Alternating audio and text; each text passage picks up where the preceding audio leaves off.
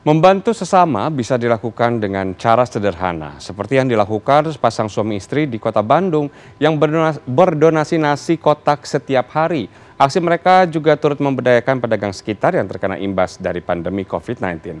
Berikut informasinya dalam Heroes Among Us.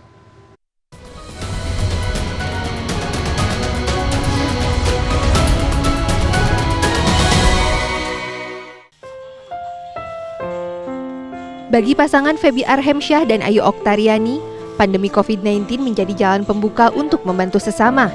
Setiap hari, pasangan suami istri yang memiliki usaha kafe di Jalan Veteran ini selalu menyediakan nasi kotak di halaman kedai milik mereka yang bisa diambil oleh siapa saja.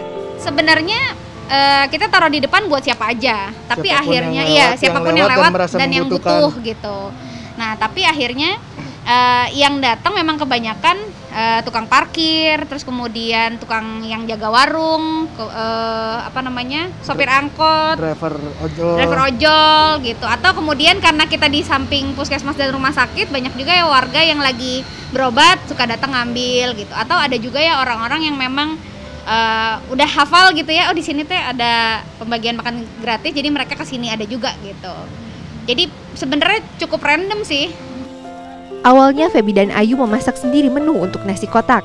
Namun lama-kelamaan, seiring banyaknya donasi yang mengalir, keduanya sepakat untuk memberdayakan pedagang kecil di sekitar mereka.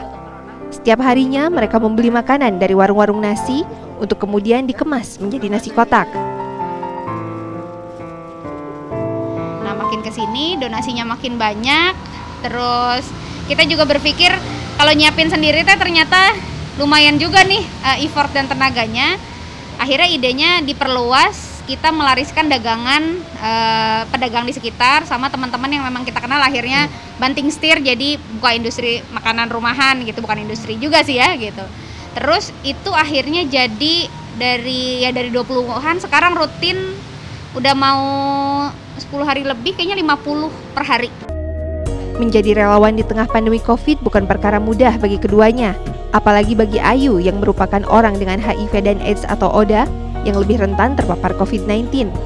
Untuk mengurangi resiko terpapar COVID, Ayu dan Feby selalu berusaha patuh menerapkan protokol kesehatan yang ketat. So far sebulan ini malah aman-aman aja ya. Maksudnya kita tidak jatuh sakit hanya karena membagikan makanan kepada orang lain atau pada saat preparation kita ke pasar, belanja dan segala macam gitu.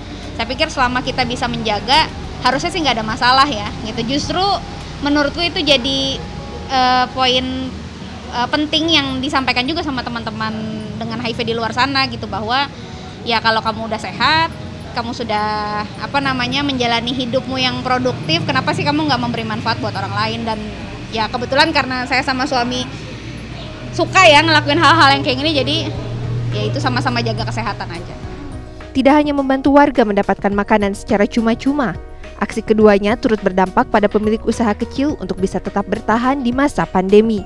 Kalau sama makan ini emang agak makin sulit ya buat Iya, iya. Makanya saya kemarin libur tiga minggu kan karena itu kurang penjualannya juga.